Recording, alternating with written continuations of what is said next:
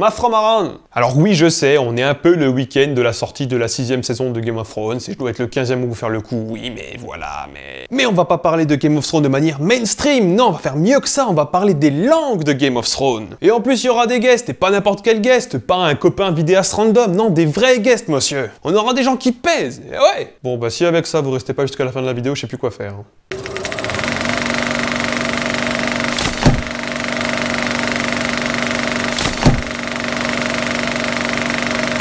Donc on disait Game of Thrones.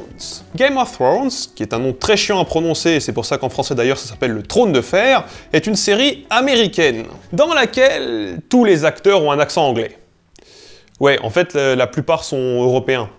Ça reste une série américaine. Une série qui met en scène plusieurs personnages importants de Westeros et d'Essos, comme Tyrion le Gnome, Jon Snow le Puceau et Daenerys la Dominatrice. Je suis pas sûr là pour la phrase. Et qui a été adaptée en 2009 d'une saga de bouquins écrits par George Martin, et une saga qui, comme la série soit dit en passant, n'est pas encore terminée au moment où je tourne cet épisode. Et ça c'est pour toutes les Léa et tous les Enzo qui nous regardent depuis l'année 2020. Et dire qu'ils n'ont jamais connu Bienvenue chez les Ch'tis. Ah là là. Tout fout le camp. Bon, alors, comme vous en bouffez depuis un petit moment et que vous commencez à connaître la chanson, je vais vous faire un résumé court. Robert le roi part à la chasse et meurt. Il y a un truc louche et des complots pour prendre le trône de Robert. Il y a Geoffrey qui devient roi. Geoffrey c'est son fils qui n'est pas son fils mais le fils de sa femme quand même.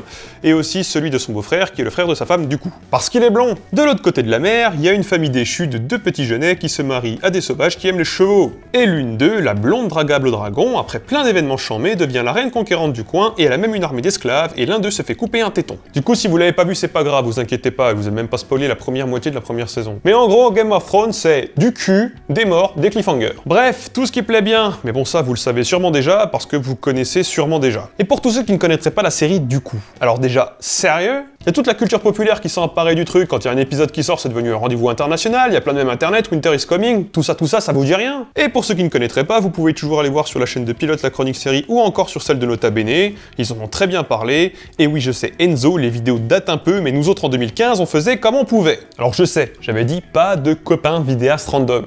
C'est pas des randoms là, c'est des copains. Mais si tout le monde vous parle de Game of Thrones, de Jon Snow qui ne sait rien, ou de Tyrion qui a trop la classe, est-ce que vous connaissez le Dothraki? Parce que oui, c'est une langue parlée dans l'univers de Game of Thrones par le peuple éponyme, une langue qu'on entend dans la série d'ailleurs. Mais cette langue, elle vient d'où? Est-ce que c'est George Martin qui a chapeauté tout ça? C'est quelqu'un d'autre? Est-ce que quelqu'un d'autre? Si c'est quelqu'un d'autre, comment est-ce que les gars d'HBO l'ont choisi? Avant de parler de tout ça, va falloir qu'on parle de la Language Creation Society. Littéralement, la société de création de langues.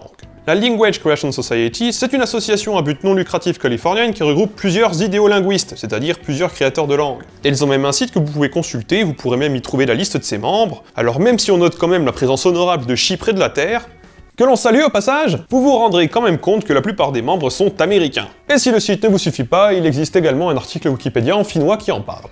George Martin n'a jamais créé de langue lui-même. Pour le Dothraki, il s'est contenté dans ses livres de quelques mots et de quelques noms. Et c'est justement la Language Creation Society que HBO a demandé d'élaborer le Dothraki. Cette dernière a alors organisé un concours qui regroupait à l'origine quelques 35 participants dont il ne resta à la fin que 4 finalistes et un remplaçant. Ces finalistes étaient donc David G. Peterson, qui est aussi le vainqueur mais ça on en reparlera après, Bob Walden, spécialiste du Sindarin et à ce titre consultant linguistique sur les films du Seigneur des Anneaux, John Kirada, créateur de Lithgoil, ça vous dit sûrement rien mais c'est une langue construite qui est réputée pour être parmi les plus difficiles au monde. Et finalement Olivier Simon, notre quatrième de ces finalistes, créateur du Sambasa. On notera quand même qu'il est francophone. Alors je vous dis pas ça parce qu'être francophone c'est vachement bien, que les anglophones ceci, cela, nanana, à l'anglais, non, on s'en fout. Euh, c'est juste qu'un francophone, c'est vachement plus pratique à interviewer pour moi. Eh ben oui, on parlait de guests, eh ben voilà des guests Qui mieux que quelqu'un ayant participé au processus de sélection de la création du Dothraki pour nous parler de ce dernier? Il y avait une petite présélection. Bon, c'était un truc, je veux dire, euh, simplement, il nous disait, voilà, c'est juste pour voir si on a affaire à des gens à peu près sérieux. Et donc, euh, bah, alors on on, s'inscrivait, et puis bien sûr, il nous a dit, euh, bon, écoutez, c'est un client très important. Donc, si on veut, avoir des chances pour l'avenir, en gros, avec ce client-là, faut pas se planter. Ensuite, euh, donc, ils nous ont expliqué petit à petit ce, qu'il fallait faire, euh, ce que le client euh, voulait. Bah, nous ils, nous ont, révélé ce que ça allait être. Donc, une série de télévision qui est fondée sur l'univers de Game of Thrones, que je connaissais pas du tout d'ailleurs hein, auparavant. Bah, en fait, on a dû faire un, un premier avant-projet de, de Dothraki.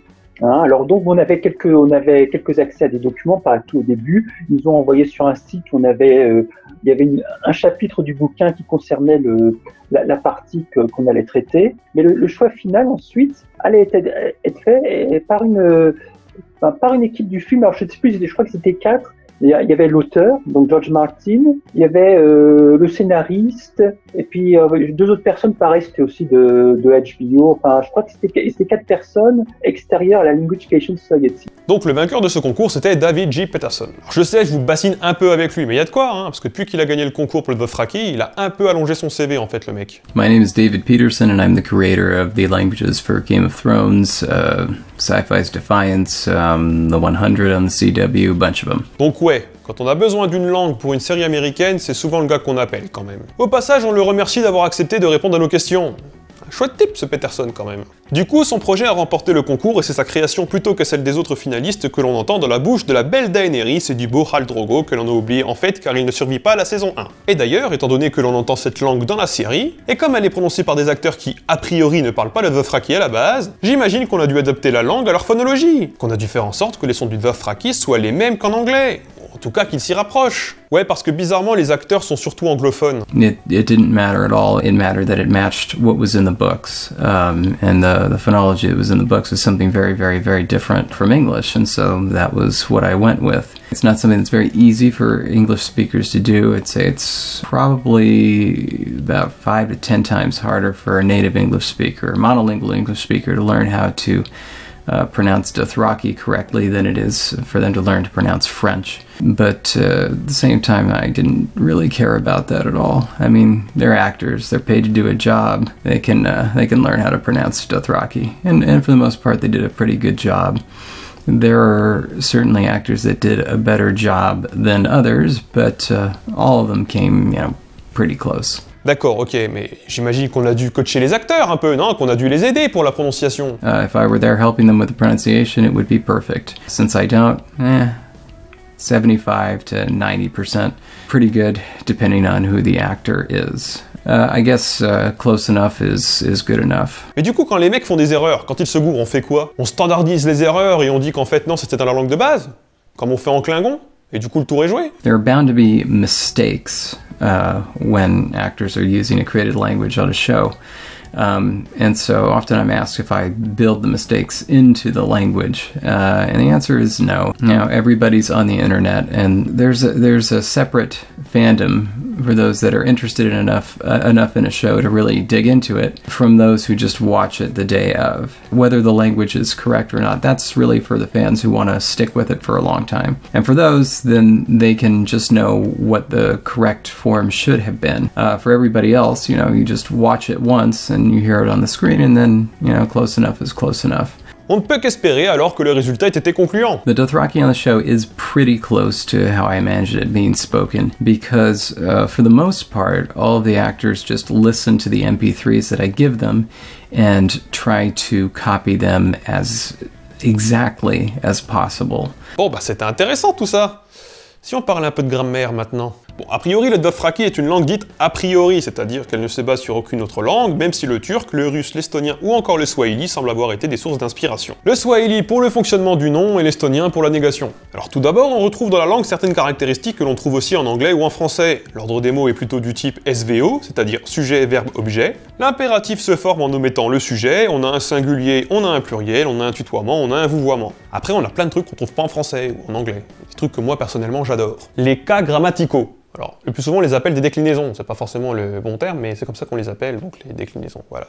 Parce que oui, oui, oui, le Dothraki est une langue casuelle, on décline les noms. On a le nominatif, l'accusatif, le génitif, l'alatif et l'ablatif, tous ces trucs en if que seuls les gens qui ont une licence de linguistique comprennent, et ben moi je les adore. En fait, tous les cas grammaticaux ne finissent pas forcément en if, hein. on a aussi l'instrumental, euh, ça finit pas en if l'instrumental. Euh...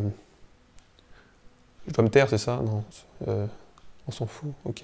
Pour résumer, si vous ne connaissez pas ces termes, on a le nominatif pour le sujet, l'accusatif pour l'objet direct, le génitif pour la possession pour le complément du nom, l'alatif pour désigner le lieu où l'on va, et l'ablatif pour désigner le lieu d'où l'on vient. Kisha jadi krasajon. Nous venons de la montagne. Ça, c'est de l'ablatif. À ne pas confondre avec Kisha veraki krasajan. Nous allons à la montagne. Ça, c'est de l'alatif. C'est simple, efficace, je suis fan. Ensuite, sachez que vos substantifs n'ont pas la même forme s'ils sont animés ou inanimés. En gros, on divise les mots en deux catégories. Ceux qui bougent et les autres. Cette particularité, qui peut sembler surprenante pour un Européen, est en fait assez courante dans les langues du monde. Alors niveau verbe, on a des trucs courants et on a des trucs drôles. Pour les trucs courants, on a en gros un verbe à l'infinitif que l'on peut conjuguer au présent, au futur, au passé, on a l'impératif et on a le participe passé. Donc ça c'était assez classique. hein. Mais les trucs drôles du coup. Pour les trucs drôles, la plupart des verbes impliquent une déclinaison particulière. Les verbes de mouvement comme carlinat, galoper ou dofralat, chevaucher, impliquent par exemple un complément décliné au génitif. Dofralat, chevaucher, ça ressemble quand même pas mal à dofraki, hein, qui est un peuple qui a beaucoup de chevaux et qui se déplace à cheval. Eh, mais- mais attends, mais, mais. Sinon, les verbes ont en gros trois formes possibles. Une forme statique, ça bouge pas, ça reste dans le même état. Medriva, il est mort. Plus statique, là, tu meurs. Une forme dynamique, ça bouge, ça évolue, ça change d'état. Medrivore, il est en train de mourir. Le gars était sain, bientôt il ne le sera plus. Tout ce qui se passe entre ces deux moments, c'est un changement d'état. Une forme causative. Ça cause quelque chose, on provoque une action.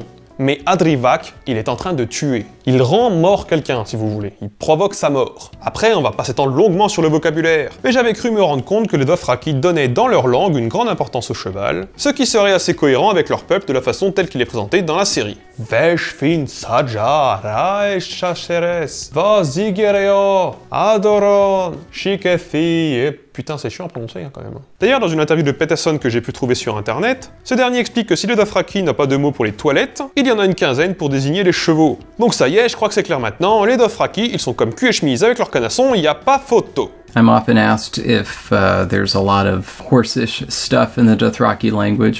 And the answer is no more than English, or probably French. English has, you know, over a hundred different words either for horse or for something related to a horse. Uh, Dothraki is the same because both peoples work with horses. Tant qu'on parle de mots, je pense à un truc. Les Dothraki, là, ils sont pas les seuls sur leur continent, non Et Daenerys, elle parle d'autres langues aussi, genre le haut-valyrien, si je dis pas de conneries. Alors du coup, le contact linguistique, les emprunts, tout ça, on en est où Ça a bien dû se faire refiler des mots ou refiler aux autres, non? Surtout avec le rapport de domination ambiant, des cités commerciales puissantes d'un côté qui parlent le haut-valyrien ou un dialecte proche, un peuple guerrier conquérant qui parle Dothraki, et tout le monde qui se met sur la gueule à cause de la blonde, notamment, hein, parce que c'est pas la seule, hein, ils se mettaient déjà sûrement sur la gueule avant. Et linguistiquement, tout ça, ça doit forcément avoir des impacts, non? So the question is, uh, are the languages connected? Um, they are not, at least not genetically. Dothraki is, uh, it's not necessarily an isolate, but it's from a different language family than the Valyrian languages, which form a separate language family. So, um, you know, there are no common words between them except where there are borrowings. There are there are some borrowings because, of course, uh, the Dothraki have had dealings with Valyrian speakers for centuries, presumably. Word for book comes from High Valyrian. Dothraki doesn't have a writing system, um, and consequently, they don't have books. But uh, they know that they're important within the universe, and so they have to have a word for them. So they borrowed it from High Valyrian. So uh, there are some borrowings like that. Cette vidéo est maintenant terminée, c'est pour ça d'ailleurs que sur la bibliothèque, par là, je vous mets des liens sur lesquels cliquer pour le Tipeee, pour le Facebook, pour le Twitter et pour tout ça. Un grand merci à Olivier Simon, donc créateur du Sambasa, qui m'a donné une interview, et grand merci à David Peterson, créateur des, langues pour Game of Thrones, et pour, euh, pour d'autres séries américaines, qui a aussi accepté euh, de de me parler du Dothraki et de me faire également une interview. Grand merci à eux. Vous pouvez d'ailleurs rejoindre euh, sur YouTube la, chaîne de, de Peterson, puisqu'il a une chaîne sur les langues construites. Je vous mets le lien dans la description. Et sinon, bah, moi je vous dis bah, au revoir, hein, du coup, hein, parce qu'on va pas non plus s'éterniser. hein. Au revoir